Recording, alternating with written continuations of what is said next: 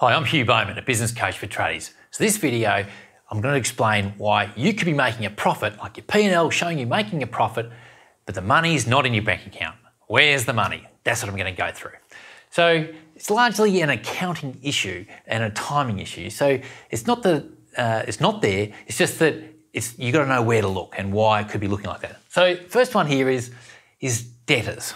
So you might have been uh, uh, doing a lot more work recently and you must have a lot more invoices out and people haven't paid or you haven't chased them as hard as you should have. And so just your debtor list might be larger.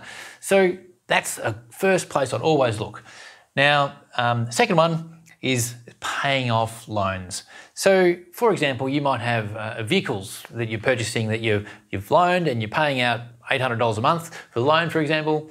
Now, the interest on that loan is an expensible item. It goes on your P&L, but the paying off the loan is actually a balance sheet item. So that you don't see that in your P&L. So the money should be, be allocated to your balance sheet and therefore your profit is higher.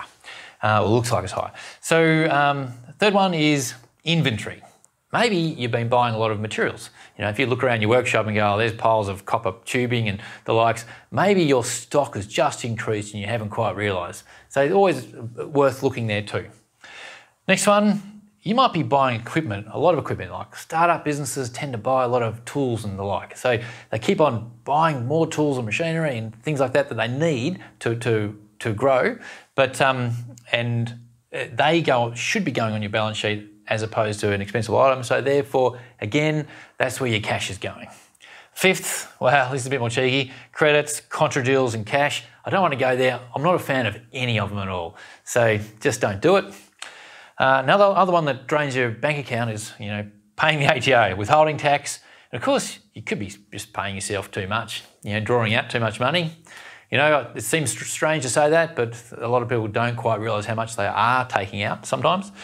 And of course, the last one, well, this is a bit cheeky, and, and I want you to have a bit of a guess here because you probably know what it is.